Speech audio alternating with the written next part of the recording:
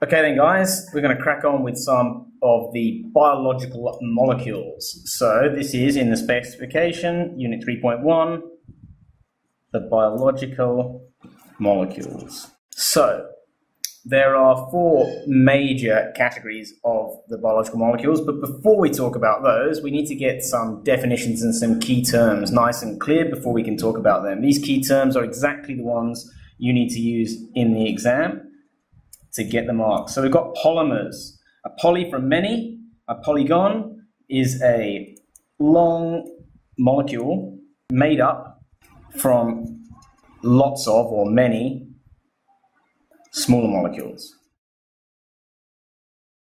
Okay, so you can easily draw in a diagram. Green, I'm going to use my diagrams, remember, dot, dot, dot, so the molecule continues. It's a long one, so we're not going to draw it all. And it's going to be like a train, lots and lots of carriages forming a train dot, dot, dot, carries on. So that's our polymer. Mer means unit, basically, or one. So lots of units means polymer. Okay, so what are polymers made of? Well, they're made of monomers, as in monocle, mono meaning one. So these are small molecules that are the building blocks of polymers. So let's put some examples down to these guys. They are going to be categorized for each of the different biological molecules that we're going to talk about. So what are those biological molecules? See if you can remember them to yourself. First of all, I'm going to put down carbohydrates. I'm going to put number two. The order is not important at this point. Proteins. Number three, I'm going to put fats or lipids.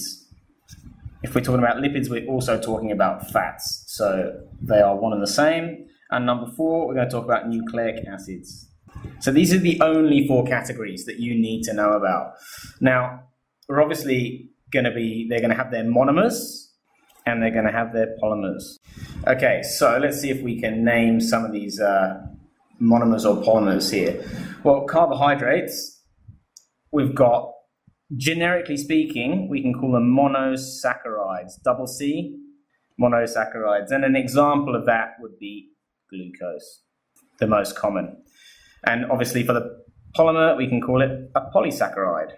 So if you see saccharide anywhere, you know it's a sugar or a carbohydrate. All sugars are also carbohydrates. So a little bit confusing in that they're all meaning the same thing, but as long as you can recognize them, you know how to answer the questions. Now, second of all, the monomers of, proteins are amino acids. We're going to talk a lot about those when we go into a lot of detail, so you'll be very familiar with those. You don't need to know any specific uh, polymers. There's going to be proteins, essentially, is what we're going to call them for now. And obviously, it's the same as proteins. We could call them a, uh, a polypeptide, is another word for a protein, polypeptide. Just squeezing it in there. Right, okay, so fats. What are we going to do for fats? Well, the, the monomer that we're going to use there is a triglyceride.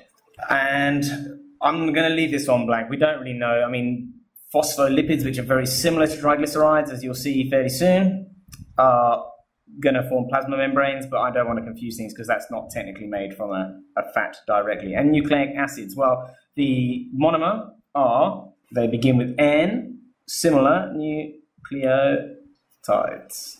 And the examples of the polymers, of course, are DNA or RNA. So that's the basic introduction to all of the biological molecules and a bit of an overview. I'm going to do a comprehensive review of all the bonds and all the molecules you need to know about in the biological molecules section at the end, once you've actually learned in detail the carbohydrates, the proteins, the fats, and the nucleic acids on their own.